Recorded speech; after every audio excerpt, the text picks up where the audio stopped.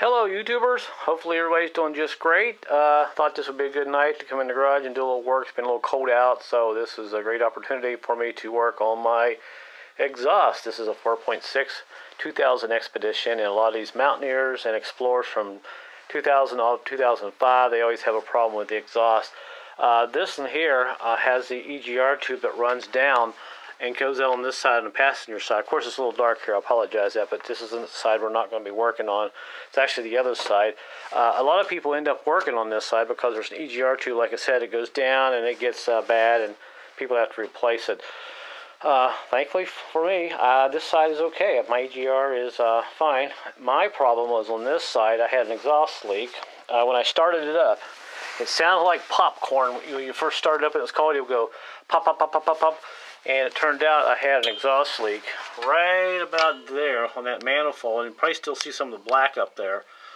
So I decided you know what? I had to put, uh, put a um, caliper uh, line on here and all that flexible brake line. So I thought this would be a good time to get in here and tackle this. Now I'll be honest um, I really didn't think I would be able to get this exhaust off to be able to put new gaskets in it. I was sort of shocked and I'll show you I'll kind of walk you through the process real quick, and I'll try not to make this video too long for you. Give you some idea how I did it, and maybe this will help you out. Now, when I got under here, I took out the plastic shroud that's in here. It just gives you a lot more room, and besides, if you need to change your EGR valve, uh, not your EGR valve, your oxygen sensor, it's real easy to get to. And matter of fact, this one was almost ready to fall out. Whoever had the vehicle before me did not have this tight. I just basically unscrewed this with my fingers. And put it off to the side. So if you need to change your EGR valve, it's uh, not EGR. Why do I call that EGR valve? It is a oxygen sensor. Okay, Nathan, try it one more time. Oxygen sensor. it's Monday. So uh, kind of threw that off to the side, and I got to thinking, well, uh, why don't I just go ahead and try to take off some of these uh, bolts on the uh, manifold. So now what I got to do is grab my extension here and some uh, couple sockets. My bolts on my manifold were basically a half inch and are these guys here and a lot of you know what I'm talking about. These are these little studs and they got little nuts that you uh, tighten down and I actually got every one of these out. How I got it out, I used an extension, well uh, I'm to say deep well. I really didn't need the extension and uh, I found the socket and I made sure that that nut would fit in there without too much play or slack and uh, one at a time as I worked my way across I eventually broke them loose. And all I did was take my socket made sure it was on the nut tapped it a couple of times and I used a pipe which is uh, kind of sitting right here to help me give a little leverage on the uh, on the on the um, ratchet just to kind of help me uh, break it loose because I didn't want to start twisting real hard and, and breaking everything, and that's how I broke them loose. One at a time, I slowly just kind of tugged on them until I broke them loose. And uh, the only one I had problems with was down here on the bottom, and I'll have to get under the car, under the uh, uh the uh, mountain, whatever this thing is called, the expedition, and show you where that is. But uh, my main point is, I wanted to go ahead and just put brand new gasket on this side. Well, I go to the parts store. Nobody makes an entire gasket. You have to buy them now like this, especially on this model, the 2002 uh, Explorers and Mountaineers on the way all the way up to 2010 or who knows, the four sixes. Uh, they have an entirely different gasket, but this year until 2002 they are individual. So I had to go out and buy you know a kit. It wasn't very much. It was only $13, and I picked up brand new studs and nuts these are my old ones, uh, plus some extra ones I had laying around. I was going to reuse them, but I thought, yeah, for $10, just put new ones in it.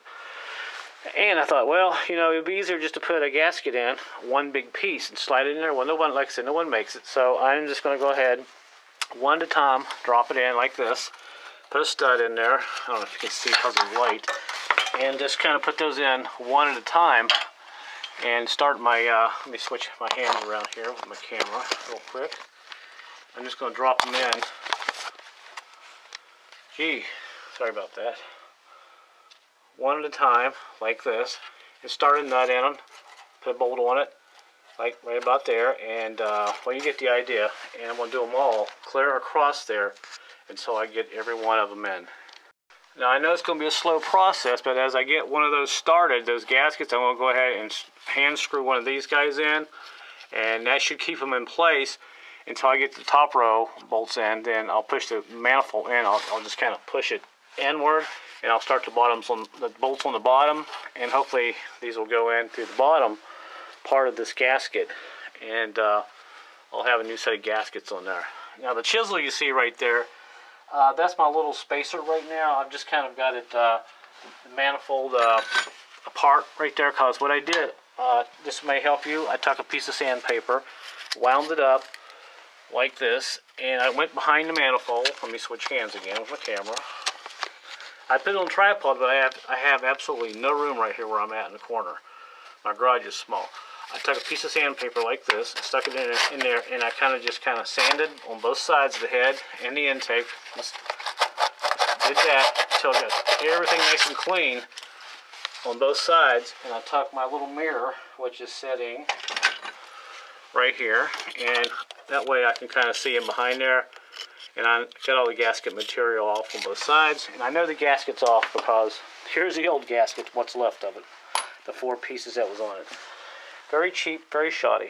But uh, once I get those on, I'll be very happy. This side will be nice and quiet. This was the only exhaust leak I had.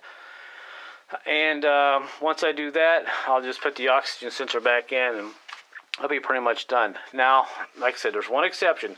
There was one bolt I couldn't get on the bottom because of that uh, motor mount. There's a bracket that bolts on the block.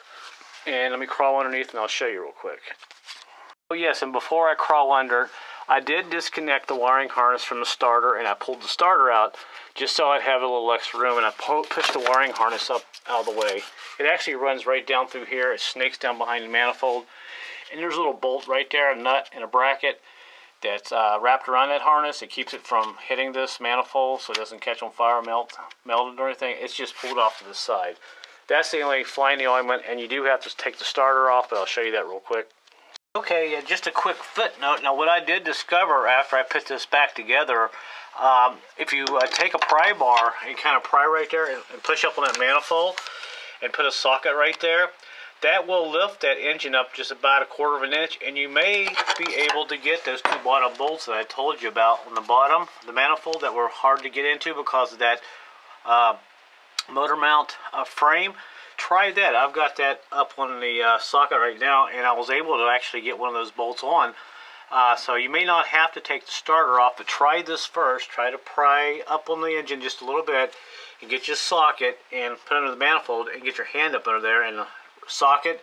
And you may be able to tighten those two bolts up there that are pretty close to the back of that bracket of the uh, motor mount. So I uh, thought I'd just kind of share that.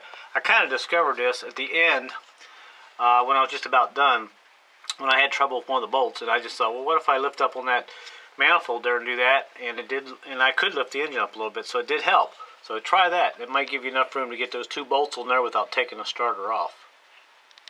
Okay, there's a starter. Like I said, I did have to take it off, and uh, the reason why I had to take it off, I'll have to set my light here and give you a give you a look up under here. If you look, closely, you'll see that motor mount bracket right there. Right there is the bolt that I had a problem getting out. I could not get my socket on that because that manifold sits so close to that bracket, my socket would not go between the bolt, the nut I was trying, the stud I was trying to take off, and that bracket. So what I did, I took a couple of bolts out of this bracket. There's one right there. I took completely out, and there's two on the other side of that mount you can get from up, up front and I'll show you and once I get them loose I just took a, a pipe or a, or, or a, uh, a breaker bar and I put it behind it and kind of moved it down a little bit it, it'll move maybe a half inch and that's how I got my socket in there once you take the starter off and look in there you'll see exactly what I'm talking about that's the only way I could get that bolt out now some of the other trucks and Mountaineers and Explorers you may not have that problem. For some reason, this expedition did have a problem with that being so close to that manifold. Maybe it's just excess rust, I don't know, but that's how I got it out. And like I said, the only downside is you do have to take the starter off, and if you've taken these starters off, you know how to take them off. They're pretty easy to take off once you get your fingers up on top of it and get those uh, bolts out. All right, I'm going to show you the other two bolts. One is right there. There's that bolt on the bracket. If I zoom back out and bend down just a little bit more, you'll see the second one, which is right there. Actually, I'm sorry, that one there and the one right below it, right there. Once you just loosen those up a couple turns, put an extension in there, then that bracket will kind of move around and you can uh, take that bolt out from up here. And uh, once you get it out, then, I got my lights shining, this manifold will pull back enough, if you can see, to get a gasket in there.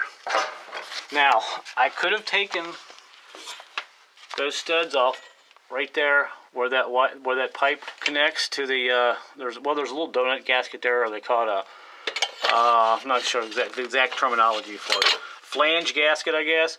Uh, it's not leaking but I could have got those two bolts on the back there off the studs but I just would have broke this off. And uh, I thought well if it's not leaking what's the point to taking it off when I can just go ahead and put my new uh, manifold gaskets and behind the manifold and uh, I don't have to worry about it. Now in worst case if you have to take this manifold off and you strip out the bolts and you just take your uh, Sawzall or something and you can get in there and just cut these bolts off and take this manifold out like that. Granted you'll have to get another manifold but uh, that's that's about it. So what I'm going to do is uh, I hope I hope I've explained this uh, reasonably well to you guys that are working on these manifolds. I find that taking these bolts out of the aluminum block, um, these guys here, they come out much easier when the engine's cold. And like I said, make sure once you get a socket on there, make sure it fits snug, and these will eventually come out. And I did put a little oil on it, but it didn't make much difference. it's just a thing that you think it works, but I did soak them a little bit in oil, and I don't think it helped. It just kind of made a mess. But they did all come out, and I was really excited. And of course, the other side, like I said, the manifold is just fine. So what I'm going to do, let's see, I think I've explained everything, and that's how I'm going to go ahead and put in my new uh, manifold gaskets. I'll have to set the camera down and do this because I will have to use both my hands. Do these one at a time, clear across, and tighten them down, and I can start this up, so I'm pretty excited. So uh, after I get all these in, I'll come back and give you a look at it and give you a few tips and maybe uh, start it up. And one other thing, when I was sanding, uh, putting this behind the manifold in the uh, head, I had a wedge, I had a little wedge in here separating this uh, back like this, pulling it back, where I could actually work this up and down. It just made it a little bit easier. So, all right, let's go ahead and I'll go ahead and put all this together and we'll see what it looks like. All right, after about 20 minutes or so, I got all the studs in and you can see they're in. And the new gasket sitting behind there. See there's one of the gaskets right there. And they were uh, pretty easy to put in. Now, uh, a couple of them on the bottom, I had to kind of get my hand in a weird angle and get up under there and start it. And these go in with a little uh, socket. I am using a, a 6 millimeter, uh, kind of a square head socket to put them in. And I tell you what, uh, by the way, these gaskets are supposed to be the new and improved gaskets for this exhaust system. I don't know. That's what the guy told me. Now, we'll crawl under here real quick, and I'll try not to make you dizzy as we wrap this up. And there is the bolts on the bottom. Get my angle here right. These are pretty easy to put in. You can just get your hand up in there. That's the one that's a little difficult. And you can see how close that stud is sticking to that uh, frame, the back part of that uh, bracket, that's the issue I have. But I can still tighten it up now. Then once I get the manifold tight, I just kind of move this bracket and put that bolt back in its place there a little bit and tighten it down and put starter on, it's done. So uh, there's a look at it from underneath. But you can see the brand new gasket there. There and kind of sticking out right there. And, and these, and like I said, the flange gasket's just fine. But if I tried to take that nut off, it would just break that stud off and and you open up a can of worms. A lot of times these bolts uh, on the manifold, they don't come off that easy. You end up twisting them and breaking them, and I've broke lots of them before, and you have to sometimes try to tap them out, or even sometimes extreme cases, pull the head off. So that, you know, you just don't know. That's why it's very important to make sure you get a good grip on those bolts before you take them out. Just like I said, the key is to make sure you get a good firm socket on that rusty uh, stud and it should come off. Forget about trying to tap the top of this stud there, that, that little five point right there, forget that. There, in most cases that'll never work, you just got to get a socket on there. To break those loose, so now all I got to do is go ahead and put my uh, bolts on there, tighten them all down, put the O2 sensor in, put the starter on, we'll start it up here a little bit and give you a nice look at it and listen to it for a second. But there you go, that's how you do it. So uh, hopefully this will help you guys out. So let me put it back together and we'll start it up.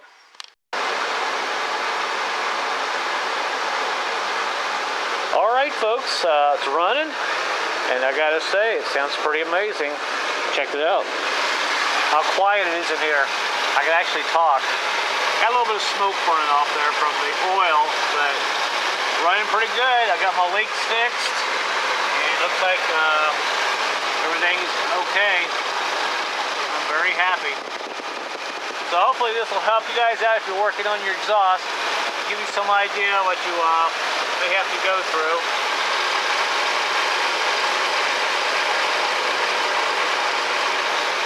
I'm pretty happy. Yay! Alright, I'm very happy with it. So uh, hopefully if you guys are having a manifold problem on these uh, Expeditions and Mountaineers and Ford Explorers, the 4.6s and 5.4s, maybe this will help you out a little bit. But uh, if I ever run into an issue on the driver's side, if I decide to replace it, I'll let you guys know. I'll make another video. But I do have gaskets for this side. So, but I'll cross my fingers. Hopefully it won't go bad. but everything else is in really good shape. All right, thanks for watching, everybody. If you have any comments, I'll, questions, I'll try to answer them. But my uh, channel's getting pretty busy now. It's getting kind of hard to keep up with all the comments and questions, but I'll do my best. So uh, thanks for watching, everybody, and take care, and talk to you later.